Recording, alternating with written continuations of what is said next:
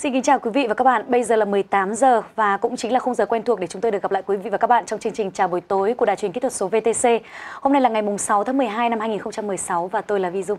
Tôi là Lưu Phước. Chúng ta sẽ cùng điểm qua những thông tin chính sẽ có trong 30 phút của chương trình hôm nay. Hình dung ban đầu về đài phun nước cao 200m dự kiến được xây dựng ở Hồ Tây, Hà Nội nhằm thu hút khách du lịch.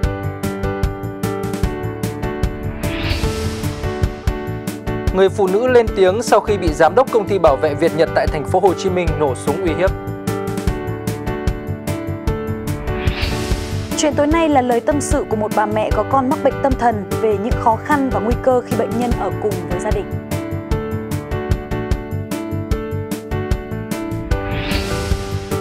Nhiều người con tại Trung Quốc đổ xô đến thăm cha mẹ ở viện dưỡng lão sau thời gian dài bỏ mặc họ vì muốn nhận được tiền thưởng.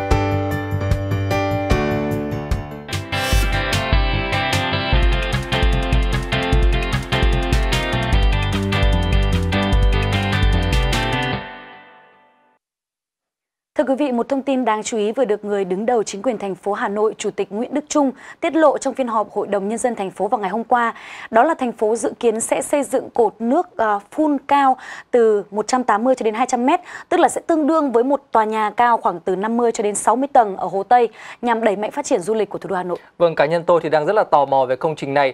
À, nhưng mà hiện đây thì mới chỉ là dự kiến của thành phố nên những thông tin đưa ra về dự án này thì cũng không nhiều. Dù vậy thì thông tin và những hình ảnh sau đây thì sẽ giúp quý vị và các bạn phần nào hình dung được đài phun nước khổng lồ được coi là điểm nhấn về du lịch của thủ đô trong tương lai trông sẽ như thế nào.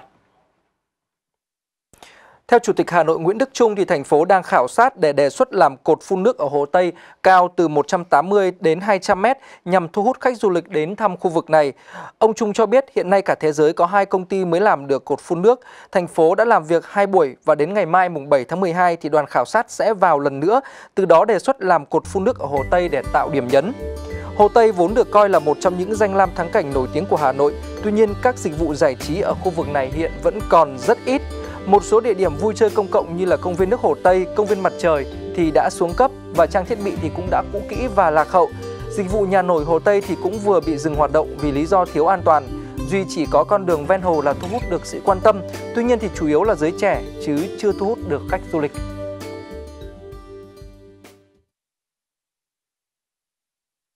Không phải ngẫu nhiên mà rất nhiều thành phố trên thế giới đều chi ra một khoản tiền không nhỏ để xây dựng đài phun nước. Và trên thực tế, ở bất kỳ một cái nơi nào thì đài phun nước là một trong những công trình kiến trúc đẹp mắt và luôn thu hút được rất đông khách du lịch. Vâng, nói tới những đài phun nước cao hàng trăm mét như vậy thì à, với nhiều người chúng ta vẫn còn rất là xa lạ và khó hình dung. Nhưng mà nói tới các công trình nhạc nước như là ở Tuần Châu Hạ Long, ở Vinpearl Nha Trang hay ở Times City Hà Nội thì hẳn là rất nhiều quý vị khán giả đã quen thuộc rồi. Vâng, có thể hình dung là đài phun nước mà Hà Nội dự kiến làm ở Hồ Tây có quy mô lớn hơn các dàn nhạc nước đó rất là nhiều lần. Ở trên thế giới thì có những công trình đài phun nước mà du khách chỉ cần là nhìn thấy hoặc là à, chỉ cần được ờ, nhìn qua một vài lần thôi thì họ cũng đã bị mê hoặc hoặc là ờ, bị ờ, cuốn hút bởi cái vẻ quyến rũ cũng như là hoành tráng của nó. Và ngay sau đây thì sẽ là đài phun nước cao nhất thế giới mà Hà Nội có thể học tập theo. Kinh Phát được nhiều người biết đến với tên gọi là đài phun nước Jeddah là công trình phục vụ cộng đồng nổi bật tọa lạc bên bờ biển đỏ thơ mộng, phía tây cung điện các tiểu vương quốc Ả Rập thống nhất, trung tâm thương mại nhộn nhịp nhất ở Trung Đông. Được xây dựng từ những năm 80 của thế kỷ trước, Kinh phát luôn khiến cho bất cứ du khách nào đến với thành phố Jeddah phải trầm trồ vì độ cao đáng nể của mình với cột nước bắn lên cao 312 m, tức là cao hơn cả tháp Eiffel của Pháp nếu không tính chiều cao của cột anten. Nhờ đó mà King phát được vinh dự ghi tên vào sách kỷ lục Guinness là đài phun nước cao nhất thế giới. Đài phun nước bao gồm duy nhất một ống phun cực đại được hỗ trợ bởi ba máy bơm khổng lồ bắn theo phương thẳng đứng với tổng vận tốc là 375 km một giờ. Đài phun sử dụng trực tiếp nước biển và phun với tốc độ cao. Chính vì vậy mà ống phun và hệ thống bơm được làm bằng thép không dỉ đặc biệt và được bảo trì hàng năm để chống lại sự ăn mòn của nước biển. Bên cạnh đó thì đài phun nước còn được lắp đặt 500 đèn chiếu sáng cường độ cao, được thiết kế đặc biệt nhằm chịu được áp lực liên tục của hàng nghìn tấn nước rơi từ hàng giờ từ độ cao vài trăm mét xuống. Cũng tại các tiểu vương quốc Ả Rập Thống Nhất thì du khách không thể nào quên công trình biểu tượng hoành tráng, đó là đài phun nước Buzi Dubai. Với quy mô trải rộng trên 12 hecta, hệ thống đài phun nước trong hồ Buzi ở Dubai đã trở thành đài phun nước lớn nhất trên thế giới. Để vận hành đài phun nước tuyệt đẹp này thì người ta đã phải dùng đến 83.000 lít nước. Các tia nước có thể bắn cao lên không trung 73 mét. Các buổi trình diễn thu hút sự chú ý của rất đông khách du lịch. Hơn 6.600 đèn và 25 máy chiếu màu đã được sử dụng. Một thành phố đẹp lên không chỉ nhờ vào các nhà cao tầng, những con đường rộng mênh mông mà còn cả những công trình kiến trúc ấn tượng mà điển hình là những đài phun nước. Tại Mỹ thì có rất nhiều những công trình phun nước nổi bật nhưng mà nổi tiếng nhất chính là đài phun nước ở đài phun nước tên là Benjazio nằm ở một hồ nước nhân tạo ở phía trước của khách sạn cùng tên ở Las Vegas và các màn trình diễn thì được ờ, uh, dàn dựng rất là công phu và tỉ mỉ để phù hợp với nội dung của các giai điệu các bài hát được trình diễn giống như là một dàn nhạc nước khổng lồ. Nổi bật nhất là những vũ điệu đài phun nước trên nền nhạc các ca khúc như là Time to Say Goodbye, Proud to be an American, uh, Your Song, Viva Las Vegas, Luck to be a Lady, uh, My Heart Will Go On và Rocky.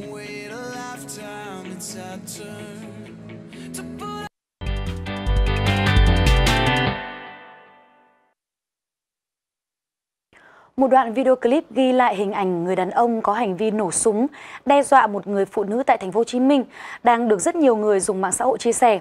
Người có hành vi nổ súng được xác định là ông Bùi Đức Phương là giám đốc của công ty bảo vệ Việt Nhật tại quận Tân Bình, thành phố Hồ Chí Minh. Và người trong cuộc thì nói gì về sự việc này và liệu là hành vi đe dọa đó thì có vi phạm pháp luật như thế nào? Và ngay sau đây thì chúng tôi xin mời quý vị và các bạn cùng đến với phần ghi nhận của các phóng viên VTC.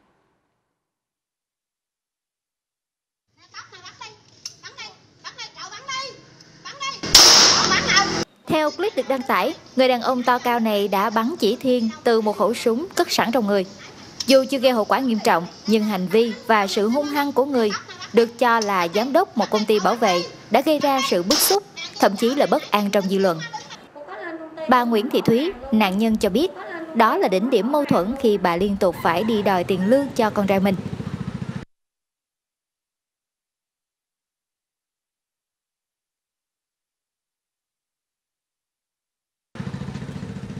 Cho tôi gặp uh, giám đốc. Nói tôi là giám đốc này có gì không? Cái cô mới nói là tại sao không tính tiền lương cho con tôi? Nó mới đặt ngực nó nói ở ta không trả đó. Mày ngon mày đi thưa ai mày thưa đi. À, mày muốn uh, thưa ai mày thưa nó không? Cái này tôi phải kêu tới công an thôi chứ tôi không có nói chuyện với ông bằng cái lời nói không đúng. Nó nói à, bây giờ hả ta không trả đó. Mày muốn công an phường hay công an quận hay công an gì cao hơn không? Mày muốn không? Cái con vợ mới ờ, cái anh mới lấy súng đưa lên đầu cô cũng theo bà Thúy, ngay khi sự việc xảy ra, bà đã trình báo với công an phường, thế nhưng không được xử lý thỏa đáng cho đến khi clip được đăng tải bất ngờ trên mạng xã hội. Trong chiều nay, ông Bùi Đức Phương, giám đốc công ty bảo vệ Việt Nhật đã được yêu cầu thực nghiệm lại hiện trường vụ nổ súng. Mức phạt tiền sẽ là từ 2 triệu đến 4 triệu đồng trong trường hợp sử dụng các loại vũ khí vật liệu nổ và hoặc là công cụ hỗ trợ trái quy định của pháp luật nhưng phải chưa gây hậu quả nghiêm trọng. À, và trong trường hợp này thì có thể bị uh, xử lý về một cái hành vi nữa đó là sử dụng các loại vũ khí công cụ hỗ trợ mà không có giấy phép. Hành vi dí súng vào đầu nổ súng uy hiếp người khác đe dọa một phụ nữ lớn tuổi là sự coi thường pháp luật cần xử lý nghiêm khắc. Chưa kể nếu hành vi này nhằm cố tình chê y không thanh toán lương cho người lao động theo hợp đồng cũng là điều mà ông Phương phải chịu trách nhiệm trước pháp luật. Vâng, nhờ những thiết bị ghi hình cầm tay hay là hệ thống camera giám sát mà những cái vụ việc gây mất an ninh an toàn được ghi lại và nhanh chóng được xử lý. Trong xu thế đó thì người dân đang sinh sống tại quận 5 trung tâm thành phố Hồ Chí Minh phần nào có thể yên tâm hơn vì tình hình an ninh trật tự ở đây khi à, ngày hôm nay công an quận đã vừa đưa vào vận hành trung tâm chỉ huy và tích hợp camera.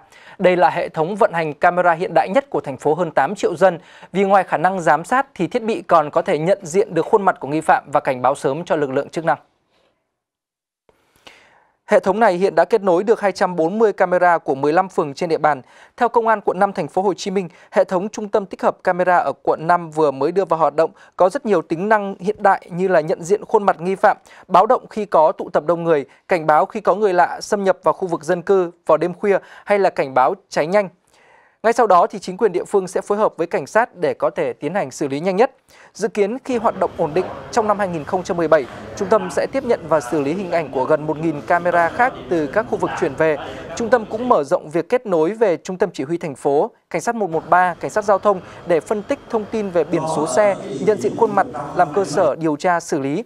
Hiện các quận 1, 3 và 4 của thành phố cũng đang nhân rộng mô hình này. Chắc hẳn là quý vị đều mong muốn là nơi mình đang sinh sống thì sẽ có những thiết bị hỗ trợ an ninh như thế này. À, liên quan đến câu chuyện camera thông minh này thì chúng tôi cũng muốn đưa quý vị đến với xứ sở Kim Chi. À, những ai mà hay xem những cái bộ phim Hàn Quốc thì sẽ thường xuyên nghe các nhân vật à, nhắc đến CCTV và mỗi khi mà có chuyện gì xảy ra thì người ta lại yêu cầu xem lại hình ảnh từ CCTV. Vâng, CCTV chính là hệ thống camera giám sát đặt ở các nơi công cộng và tại Hàn Quốc uh, camera an ninh như vậy thì được đắp, lắp đặt ở rất là nhiều nơi, ví dụ như là ở nhà ga, tàu điện ngầm, siêu thị, trường học và cả nhà hàng nữa. Nhưng mà tất nhiên những nơi nào mà lắp đặt camera như vậy thì đều có các biển thông báo để mọi người biết rằng là họ đang bị ghi hình. Và nhờ vào hệ thống CCTV thì an ninh tại Hàn Quốc được đánh giá là cực tốt và người dân ở đây thì có thể yên tâm đi ra ngoài vào lúc nửa đêm hay vào sáng sớm mà không cần phải lo ngại hay sợ hãi điều gì cả. Vâng và có những cái thông tin thì cũng cho rằng là cứ ít nhất 7 giây thì bạn sẽ xuất hiện trên một màn hình CCTV khác nhau và nếu cần thiết thì cảnh sát ở Hàn Quốc có thể tạo ra một cuốn phim về một ngày của bạn. Chính vì vậy mà ý thức của người dân bắt buộc phải tăng lên.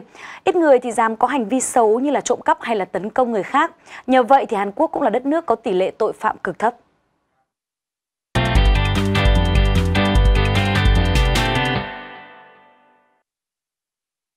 Như chào buổi tối, ngày hôm qua đã đưa tin là một bé gái 2 tuổi tại Bắc Ninh sau khi điều trị viêm phổi tại Bệnh viện Đa khoa huyện Yên Phong đã bị liệt chân phải. Chuyển lên Bệnh viện Nhi Trung ương để khám thì bé gái được kết luận là mắc bệnh viêm đa dễ dây thần kinh.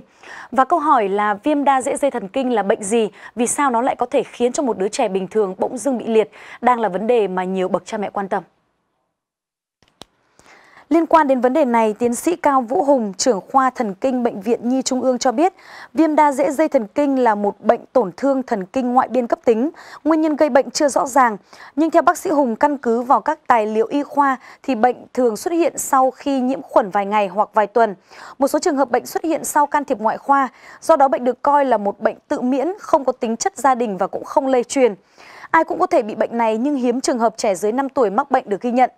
Do đặc điểm tổn thương đối xứng ở tất cả các dây thần kinh ngoại vi nên trong giai đoạn đầu, người mắc viêm đa dễ dây thần kinh thường có biểu hiện liệt hai chi dưới hoặc tứ chi. Liệt thường khởi đầu ở hai chi dưới sau đến hai chi trên, đặc biệt là liệt mềm đối xứng. Để phục hồi là tương đối khó và bệnh nhân cần phải điều trị trong một thời gian dài.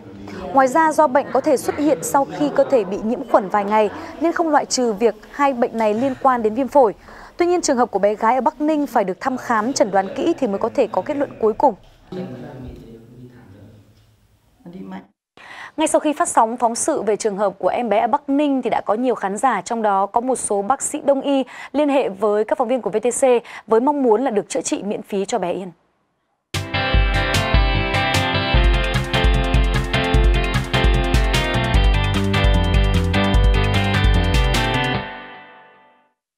Và bây giờ sẽ là thời lượng dành cho tiểu mục chuyện tối nay của chúng tôi. Thưa quý vị, một đứa trẻ cất tiếng khóc chào đời là niềm vui, niềm hạnh phúc vô bờ bến của mỗi một gia đình. Và ông bố bà mẹ nào thì cũng mong muốn là con cái của mình sinh ra sẽ là những đứa trẻ khỏe mạnh và thông minh. Nhưng với nhiều gia đình thì có lẽ là họ chỉ mong rằng đứa con mình sinh ra được bình thường như là bao đứa trẻ khác. À, bởi vì với họ thì sự bình thường đó cũng không thể nào mà dễ dàng có được. Và chúng tôi thì đang muốn nói với quý vị và các bạn nỗi lòng của những ông bố bà mẹ có con bị tâm thần. À, căn bệnh đang có xu hướng gia tăng ở trong xã hội hiện đại. Vâng, căn à, vụ án mạng thương tâm vừa xảy ra tại Hà Giang vài ngày trước khi nghi phạm là một người tâm thần đã giết chết cả bốn người ruột thịt của mình thì khiến cho chúng ta phải tự hỏi là cuộc sống của một người tâm thần thì diễn ra như thế nào? Các gia đình sẽ phải sống ra sao khi có một thành viên lúc nào cũng có thể gây ra những cái vụ việc kinh hoàng như thế? Và để hiểu được những tâm sự thầm kín mà không nhiều người sẵn sàng mở lòng chia sẻ này, thì ngày hôm nay chúng tôi đã mời tới trường quay một người mẹ đang ở trong hoàn cảnh đó. Nhưng mà trước khi gặp gỡ với chị thì xin mời quý vị cùng theo dõi một phóng sự ngắn sau đây. Em chỉ thích làm cổ động viên thôi, làm cổ động viên VFF hoặc là Hà Nội T&T nhưng mà VFS bỏ uh, không thường xuyên là một cổ động viên bóng đá cuồng nhiệt. Chàng trai 22 tuổi này có thể nhớ tên của từng đội bóng và từng cầu thủ nổi tiếng. Ước mơ trở thành một cầu thủ bóng đá đã nung nấu từ khi em còn rất nhỏ. Nhưng đáng tiếc, em đã không thực hiện được ước mơ cháy bỏng của mình vì bị tâm thần phân liệt một chứng loạn thần rất nặng. Bây giờ mà như này là em chỉ mong ngày mỗi ngày nó đỡ bệnh thì một tí. Nên nói chung là ở xung quanh mình thì cũng được cái họ anh em họ hàng rồi bạn bè hàng xóm thì này nọ người ta cũng giúp đỡ nhiều. Hơn 20 năm nay, Cuộc sống gia đình chị Duyên, anh Dũng đều dồn sự lo lắng vào Dương, cậu con trai bị bệnh. Với anh chị, sẽ chẳng có nỗi buồn nào hơn khi chính đứa con mình sinh ra lại mắc phải chứng bệnh này.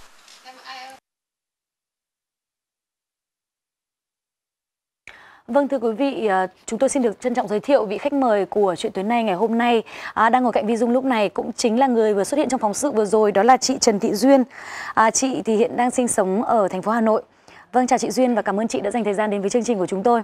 À, chị Duyên thân mến là chúng tôi cũng rất hiểu và chia sẻ phần nào à, những cái nỗi khó khăn của gia đình chị khi mà trong gia đình của mình có một à, người con bị như vậy. À, và chị có thể chia sẻ với chúng tôi rằng là à, đã phát hiện ra em Dương bị à, cái tình trạng bệnh như thế này từ khi nào được không ạ? Ừ, từ khi cháu mới được khoảng độ một tuổi là tôi cũng đã phát hiện cháu không bình thường rồi. Vâng. thế cho cháu đi khám ở các bệnh viện thì người ta cũng bảo là nó còn hiếu quá hiếu động ấy. còn nhỏ thì người ta cũng không có nghi ngờ gì là bị bệnh à. Nhưng mà nuôi con thì càng ngày chị thấy tôi thấy nó càng nó, những cái biểu hiện nó không bình thường nữa. Mình cứ theo dõi. Thế đến khi nó lên được 3 tuổi thì cho nó đi mẫu giáo thử thì 8 giờ sáng tôi dắt nó ra thì đến 10 giờ trưa cô giáo đã dắt vào giá rồi. Vâng thế lúc đêm mới khẳng định là con mình dứt điểm nó có bệnh không bình thường nó vào mỗi giáo nó phá hết tất cả các thứ đồ ở trong lớp vâng.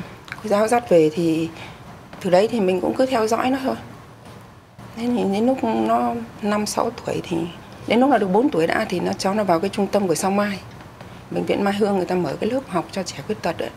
thì tôi cho nó vào đấy cháu học được 8 năm đến năm 12 tuổi thì thì nó lớn quá cô giáo cũng không không bảo được nữa cho nghỉ Ừ. Thế mang nó về nhà thì không có chỗ nào để gửi cả.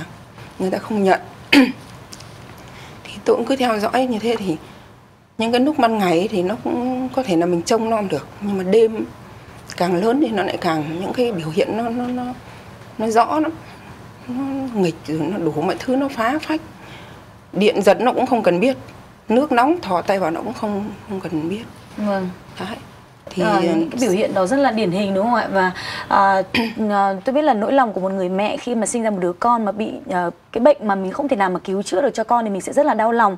À, nhưng mà chị à, duyên thân mến là chúng ta cũng biết một cái thông tin là có đến 10% dân số của Việt Nam chúng ta là có những cái biểu hiện về bệnh vì bệnh, bệnh thần kinh. À, tuy nhiên ở trường hợp của em Dương nhà mình thì là à, có những cái biểu hiện khá là nặng đúng không ạ? Nó nào vào cái dạng nặng? Vâng.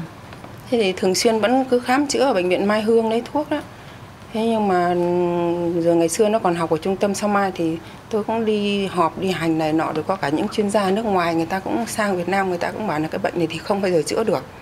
Thì cho nó hòa đồng thì nó đỡ được tí nào thì hay thì đấy thôi. Thế nên cũng cứ cho nó đi chơi đây đó nhiều lắm, tức là mình cũng mất nhiều thời gian vào nó lắm. Lúc nó còn nhỏ thì mình cứ dẫn nó đi. Nhưng càng lớn thì nó không cần mình dẫn nữa. Như bây giờ thì nó tự đi được khắp mọi nơi. Cứ sáng thì cả nhà đi làm thì nó ngủ đến 11 12 giờ nó mới dậy nó dậy thì về cả nhà về thì nó ăn trưa xong cái là nó mặc quần áo nó đi chơi ngay. Ngăn thế nào cũng không được giữ thế nào cũng không được. Nó lên xe buýt nó đi khắp nơi nơi đâu nó cũng đến. Thế những cái lúc nó đi ra khỏi nhà như thế thì cứ 15 phút lại gọi điện là con đừng trêu ai nghịch ai nhá. Thế nhưng mà nó vẫn xảy ra. Vâng. À, tôi cũng được biết là chứng tâm thần phân liệt thì có thể sẽ dẫn đến một số những cái kết hợp về ảo giác. À, và cái trường hợp này thì có thể dẫn đến những cái hành vi mà à, chính người bệnh thì cũng không thể kiểm soát được những cái hành động của mình. Vậy thì à, và có thể là cũng gây ra những cái điều mà ảnh hưởng đến chính bản thân mình nữa. Vậy thì có khi nào à, em Dương đã tự gây ra những cái tổn thương cho chính mình chưa ạ? Có nó cũng nhiều lúc nó nó, nó nhiều lần. Có lần vâng. thì nó nhảy xuống giếng thì cũng được vớt lên. Vâng. Hồi đến nó 4 tuổi thế thì cũng được vớt lên một lần rồi thì sau đấy thì nó lại một lần nữa thì nó nghịch điện thì điện nó giật cháy hết cả quần thế này mà nó cũng không làm sao cả. Nó cũng không sợ. Rồi có lúc thì nó nhảy ra mái nhà nó cũng lại cũng vẫn được người ta nuôi vào mọi người nuôi vào. Những cái trường hợp nên là cái bản thân nó còn những cái trường hợp mà nó như bây giờ nó lớn rồi đấy năm nay là nó hai ba tuổi rồi thì là thường là buổi tối là chị đêm ấy là tôi không có được ngủ. Hiên thế nào cả. Cứ khi nào nó ngủ trước thì mình mới được đi ngủ. Hoặc là cả nhà ngủ thì vẫn phải có một người thức để theo dõi đó chứ nó cũng cứ hay khùng lên tự nhiên ấy. Nó một phát có khi nó đang ngồi nói chuyện mình bình thường này nhưng quay lại nó tát ngay. Nó tát hoặc nó đánh. Vâng, ở những cái lần như vậy mà sau khi em Dương tỉnh lại thì em có cái biểu hiện hay là cái phản ứng gì không? Những lúc bình thường thì nó cũng hỏi nó bảo sao mọi người cứ gọi con là thằng thần kinh. Thì cũng không biết nói thế nào thì bảo đấy nó cũng là một thứ bệnh có người thì bị đau chân có người thì bị đau tay con thì bị thần kinh. Thế nên bây giờ phải ngoan phải nghe lời bố mẹ thì mới được. Nhưng mà đây là chỉ nói để cho nó hiểu cái lúc đấy thôi còn những cái lúc nó bực lên thì nó bảo nó thì nó không biết cái gì. Nó Vâng. tức cái gì là nó không ức chế cái là nó không kiềm chế được. Vâng, ờ, như cái câu chuyện mà chúng tôi cũng đã chia sẻ ở cái phần đầu của chương trình và có lẽ là thông tin trên báo đài một vài ngày hôm nay thì chị Duyên có lẽ cũng đã nghe thấy về cái trường hợp vụ án ở Hà Giang. Thì chúng tôi có một cái câu hỏi này hơi riêng tư một chút là không biết ờ, có bao giờ chị cũng như là những người ở trong gia đình của mình có cái sự lo lắng là sẽ có những cái trường hợp giống như Hà Giang xảy ra đối với gia Đấy đình của mình hay không? luôn luôn là lo lắng như thế nhất là cái chuyện đấy. à, có nhiều trường hợp là người ta nó giết mấy người một lúc hoặc nó đánh bố đánh mẹ giết bố mẹ hoặc là những người xung quanh. Thì là tôi tôi cũng rất là lo cái điều này cho nên là mình không kiểm soát được những cái lúc nó ra ngoài đường hoặc nó ra khỏi nhà là mình không biết nó làm cái gì. Thế thì nó nó lắm nhưng bây giờ biết làm sao? Thì cũng cứ 15 phút này gọi điện một lần là con đừng trêu ai nhưng mà nó vẫn cứ nghịch nó vẫn cứ thậm chí nó đánh người ta cũng có. Vậy thì trường hợp mà nghiêm trọng nhất mà em Dương đã gây ra cho những người xung quanh là gì ạ? Đến thời điểm này ạ? Nếu mà nói là trường hợp gây ra thì nó cũng nhiều lắm. Có một hôm nó đi ra gần bên nhà rồi, thì có thằng trẻ con nó đứng chơi ở ngoài cửa, nhà nó ở chỗ gần gần ngõ đấy. Thì nó không biết nó bực cái gì ở đâu về, nó về đến đấy là nó cầm thằng bé nó lia vào trong cửa nhà người ta. Nó xách, đứa trẻ con nó lia luôn vào đấy. Thế thì cũng mọi người cũng chỉ kêu hoảng hốt lên thôi, nhưng may thằng cú nó cũng không bị làm sao cả. Thế có lần nữa thì cái bà hàng xóm bạn vừa ở trong nhà ra, thế nó tát cho bạn một cái thế bà ấy huyết áp cao thì cũng rất là sợ thế cũng không không biết làm nào thì cũng về lại dọa dẫm rồi thì là này nọ đến lúc hết nhẹ rồi đến nặng nó Vâng, như vậy có thể hiểu là bản thân gia đình anh chị thì cũng đã rất là ý thức được cái việc là ờ, em Dương thì cái cái thần kinh không bình thường có thể gây nguy hiểm cho những người xung quanh, ờ, nguy hiểm cho cả bản thân em nữa. Nhưng tại sao mình lại không đưa em vào những cái cơ sở chăm sóc điều dưỡng tâm thần, ví dụ chạy tâm thần chẳng hạn? có cái cách đây cũng có đi khám các nơi rồi nhưng mà hôm cách đây khoảng độ gần một tháng thì tôi cũng cho cháu ra bên sang bệnh viện tâm thần của Hà Nội bên Sài Đồng ấy, khám để xem bác sĩ có cho nhập viện không, nhưng mà người ta cũng bảo là không đến mức nào phải nhập viện. Mà bản thân nó thì nó lại bảo là nhất định nó không nhập viện, nó chỉ lấy thuốc về nhà uống thôi. Nhưng lúc đấy là nó biết, nó không thích vào viện, rồi người ta cũng bảo là chưa đến mức phải nhập viện. Nhưng mà lại cho về nhà uống thuốc thì cũng vẫn cứ phải trông nom từng ngày, từng giờ. Vâng, à, như chị có chia sẻ những cái câu chuyện về những cái trường hợp mà em Dương cũng không chỉ làm đau cho mình mà có thể là làm đau cho cả những cái người trong gia đình nữa. Ví dụ đang nói chuyện bình thường với mình mà quay lại tát luôn cả bố cả mẹ. Vâng, à, trong những cái trường hợp như vậy và qua nhiều năm rồi như vậy thì chị cũng như là gia đình của mình có à, những cái cách xử trí hay là có những cái biện pháp như thế nào để có thể thứ nhất là tự bảo vệ mình và thứ hai là bảo vệ đấy cho em có Dương đấy không? có là thứ nhất là cũng phải bảo vệ mình nếu như là đang xem cái gì ở trên tivi đấy mà có những cái hành động bạo lực cái nào nó bắt chước hoặc nó đánh hoặc nó tát ngay thì mình cũng phải ngồi xa nó ra tức là xem thì ngồi theo dõi nó đấy nhưng mà vẫn phải ngồi xa ra một tí nếu mà nó có hành động bột phát như vậy thì mình có thể là tránh hoặc bảo là dọa nó là ngồi im đi thì nó biết là mình phát hiện ra là À. nó đấy thì nó lại ngồi im xuống Vâng. đấy là những lúc nó còn dễ bảo đấy còn những lúc mà bảo là ngồi im đi thì nó lại càng tấn công mình ác Vâng, không biết là thì cũng không biết làm nào được thì Vâng, không biết là hàng xóm láng giềng những người sống xung quanh thì họ có phàn nàn hay là có tỏ một cái thái độ gì đó về cái trường hợp của em Dương nhà mình hay không ạ? Xung quanh thì cũng có đấy cũng có người ta cũng ấy nhưng mà đôi khi thì người ta cũng không nói với mình người ta chỉ bảo là thằng này bây giờ càng lớn thì nó lại càng những cái hành động mạnh mẽ quá. Thì người ta cũng chỉ nói thế thôi thì cứ nếu ví dụ mà sang nhà ai thì phải đi theo nó ra không nó sang nó nằm ví dụ người ta đang xem tivi kênh này thì lại bật sang kênh kia rồi cứ ấm hết cả nhà lên thì lại dắt nó về. Vâng. hoặc là đôi khi là hàng xóm người ta thấy thế người ta cũng đóng cửa vào Vâng, thế nhưng mà chị có cảm nhận được là những người hàng xóm của mình họ có một cái sự đồng cảm hay là sự chia sẻ nào với gia đình nói mình không? chung ạ? là hàng xóm thì người ta cũng đồng cảm với mình người ta cũng bảo là giờ đôi lúc thì cáu lên thì bố nó cũng đánh thì mọi người bảo là đừng đánh bệnh tật thế đánh nó cũng chẳng hiểu gì thì hoặc là càng đánh thì nó càng lại tức nó đôi khi là đánh nó bây giờ nó trả thù lúc sau nó mới đánh lại đánh Vâng. nó bằng cái gì nó lấy đúng cái đấy là nó đánh Vâng, mặc dù chúng tôi ừm, nói rằng là rất là hiểu và chia sẻ về cái hoàn cảnh của chị nhưng thực tế thì nếu như không ở cái trong hoàn cảnh của chị thì chúng tôi cũng không thể nào hiểu hết được những cái nỗi khổ đó. Vậy thì chị có cái mong muốn hay là cái nguyện vọng gì đó muốn đề xuất với cả cộng đồng để mọi người xung quanh có thể giúp đỡ và hỗ trợ những cái người ờ, như em Dương hay là những cái gia đình như chị hay không? cái như đề xuất của gia đình thì chắc là nó cũng khó bởi vì là bây giờ thì cái duy nhất tôi chắc là cũng như là những nhiều người mẹ khác thôi. Là cái xã hội mình thì có thể là mỗi ngày một thay đổi đấy. Thì có những cái trại thì giam giữ nuôi giữ, trông nuôi những cái người như thế này.